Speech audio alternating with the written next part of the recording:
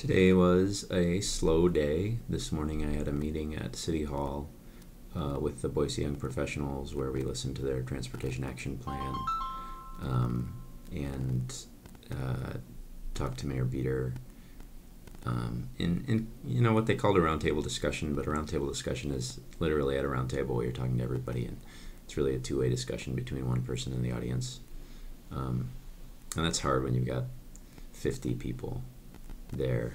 Um, I don't know. I'm always one who assumes that other people are going to ask better questions than I do, even though that might not be the case. Um, so I tend to like save my questions for after it's over, and then it's over. Um, after that, it was a little bit of project management, just organization work um, with the team, uh, talking to people, kind of getting things organized and answering questions that I had mostly.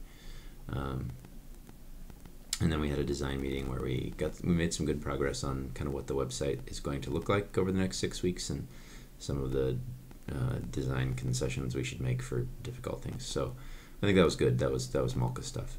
Um, in general, I think I'm in general I think I'm lukewarm on a number of things with Malka, and I probably won't at this point. Um, stick with them after the contract is up in March. There are other things that I think I would rather do. Um, but mm, I don't know. I'll talk about those more later, maybe after the fact.